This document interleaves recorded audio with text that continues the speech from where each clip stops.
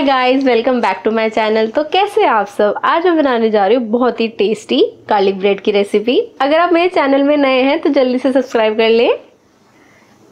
तो चलिए रेसिपी शुरू करते हैं। मैंने उसके लिए ले लिया है यहाँ पे चार ब्रेड के स्लाइस ले लिए दो से तीन चम्मच मक्खन। मक्खन हम हल्का सा इसे मेल्ट कर लेंगे।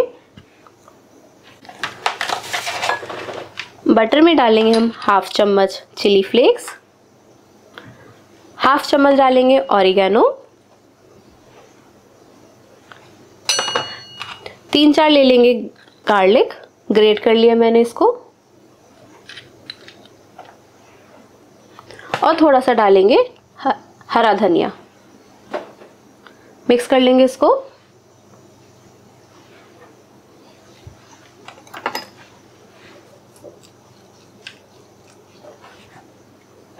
मैंने यहाँ पे सॉल्टेड बटर यूज़ करा है। इस वजह से मैंने इसमें सॉल्ट नहीं डाला है। अगर आप अनसॉल्टेड बटर लेते हैं तो आप इसमें नमक थोड़ा सा डाल दें, स्वाद अनुसार।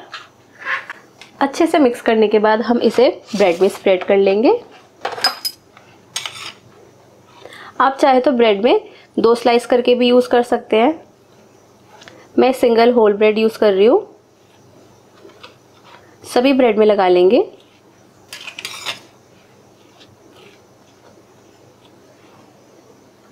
चारों ब्रेड में मैंने बटर लगा लिया है। अब इसे हम सेक लेंगे। अब हम एक पैन ले लेंगे गैस का फ्लेम लो करके। जिस तरफ़ हमने बटर लगाया था, वो वाला पैन साइड होगा। एक बारी में जितने आपके ब्रेड आए पैन में, आप उतना ही रखें। जो साइड हमारा ऊपर है, अब हम इधर भी बटर को लगा लेंगे। दोनों तरफ़ बहुत ही क्रिस्पी टेस्ट आता है। आप इसे ज़रूर बना के देखें अपने घर में। चारों ओर अच्छे से फैलाएँगे।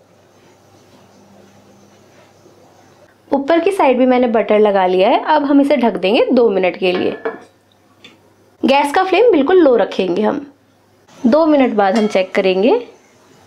पलट लेंगे ब्रेड को। अब हम दूसरी साइड जो पकाएँगे, हम गैस का फ्लेम लो करके बिना ढके पकाएँगे। और आप देख सकते हो कितना अच्छे से इसका कलर आया है। बहुत ही टेस्टी ये गार्लिक टोस्ट बनके तैयार होता है। इसी तरीके से हम बाकी टोस्ट भी बना लेंगे। एक मिनट बाद हम इसे एक और बार चेक करेंगे और तैयार है हमारा दोनों तरफ़ से क्रिस्पी ब्रेड टोस्ट। तो तैयार है हमारी बहुत ही टेस्टी गार्लिक टोस्ट की रेसिपी। अब इसके लिए हम तैयार कर लेंगे एक डिप। मैंने यहाँ पे लिया है दो चम्मच टमाटो सॉस और एक चम्मच मेयोनीज। मिक्स कर लेंगे इसको।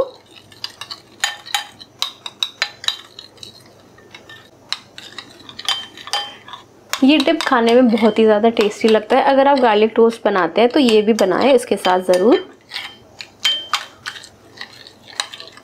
तो तैयार है हमारी बहुत ही टेस्टी गार्लिक टोस्ट की रेसिपी एक बार इसे आप ज़रूर बना के देखें और रेसिपी अच्छी लगे तो चैनल को सब्सक्राइब और दोस्तों के साथ शेयर करना ना भूलें। तो मिलते एक नई रेसिपी के साथ।